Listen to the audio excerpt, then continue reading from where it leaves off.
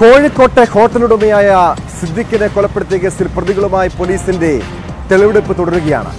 പ്രതികളായ ഷിബിലിയെയും ഫർഹാനെയും എരഞ്ഞിപ്പാലത്തെ ഹോട്ടലിലും electric കട്ടറും trolley ബാഗും വാങ്ങിയ കടകളിലും എത്തിച്ചായിരുന്നു ഇന്നത്തെ തെളിവെടുപ്പ്. അതിനിടെ പ്രതികൾക്ക് നേരെ നാട്ടുകാരുടെ പ്രതിഷേധവും അരങ്ങേറി.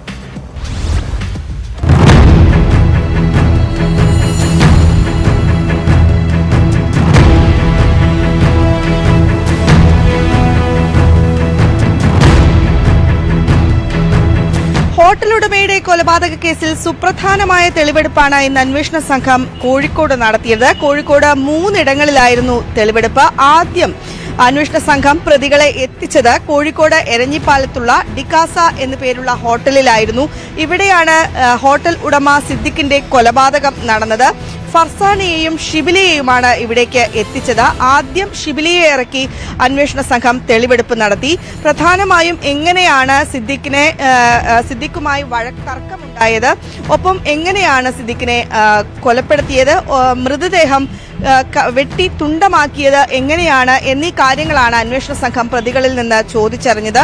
ഷിബിലിക്ക് ശേഷമാണ് ഫർസാനിയെ തെളിവെടുപ്പിനായി ഈ ഹോട്ടലിന് അകത്തേക്ക് കൊണ്ടുപോയത്. ജി ഫോർ എന്ന് പറയുന്ന റൂമിലായിരുന്നു തെളിവെടുപ്പ് ഉണ്ടായിരുന്നത്. ഫർസാനയും ഷിബിലിയും തമ്മിൽ മൊഴി മൊഴി മൊഴി മൊഴി വൈരുദ്ധ്യങ്ങൾ ഉണ്ടോ എന്നായിരുന്നു അന്വേഷണ സംഘം പരിശോധിച്ചിരുന്നത്. അതിനുശേഷം ഏതായാലും ഈ പ്രതികളെ ഈ ഹോട്ടലിൽ എത്തിച്ചപ്പോൾ ജനങ്ങളുടെ ഒരു വലിയ പ്രതിഷേധം നാട്ടുകാരുടെ ഒരു പ്രതിഷേധം പ്രതികൾക്കെതിരെ ഉണ്ടായിരുന്നു.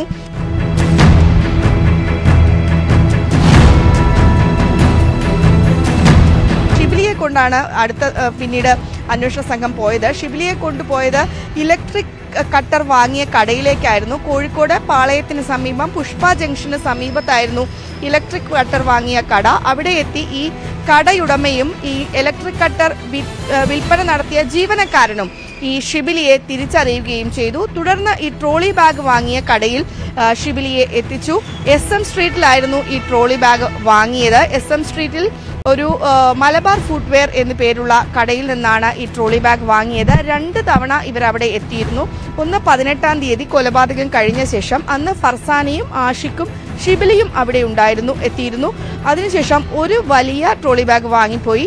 എന്നാൽ പത്തൊൻപതാം തീയതി അതായത് ഈ ഒരു ട്രോളി ബാഗ് കൊണ്ട് അവരുടെ ആവശ്യം നടക്കില്ല അതായത് മൃതശരീരം കയറ്റാൻ പറ്റില്ല എന്ന് ബോധ്യമായതിനെ തുടർന്ന് മറ്റൊരു ട്രോളി ബാഗ് കൂടെ ഷിബിലി പത്തൊൻപതാം തീയതി വാങ്ങി എത്തി ഈ ട്രോളി ബാഗ് കൂടെ വാങ്ങി മടങ്ങിയിരുന്നു. അവിടെയെല്ലാമാണ് തെളിവെടുപ്പ് നടത്തിയത്. ഒപ്പം ഈ എ ടി എം കാർഡ് പണം വിഡ്രോ ചെയ്ത എ ടി എം കാർഡും ഷിബിലി അന്വേഷണ സംഘത്തിന് കാണിച്ചു കൊടുത്തിട്ടുണ്ട്.